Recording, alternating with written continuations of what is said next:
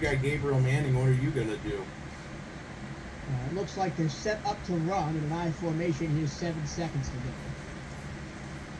But Nickens is going to throw. He's going to take the Hail Mary shot, and it's going to be caught by He's going to the end with triple zeros on the clock.